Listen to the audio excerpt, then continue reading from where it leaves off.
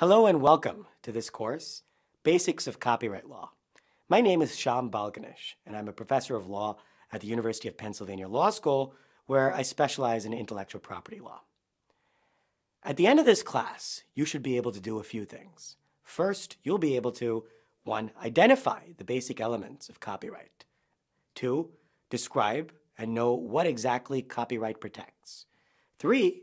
Understand how copyright protects, what it protects, and what exactly it means for copyright to protect something. And 4.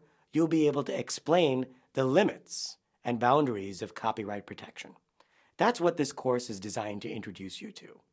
But it's also important for me to tell you at the outset what this course will not allow you to do and what this course is not a substitute for. The copyright system is a complicated system. At no point should your knowledge from this class be a substitute for your approaching a lawyer for legal advice when you have a real potential copyright matter.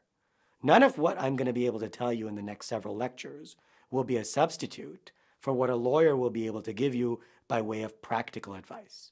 What this course is designed to do is to give you a basic level of familiarity in the language and terminology of the copyright system so that when you approach the lawyer, you'll be able to understand what exactly the lawyer is talking about, or you'll have a basic sense of what to do in the interim period before you get to a lawyer. That's important to bear in mind. With that, let's jump into copyright law.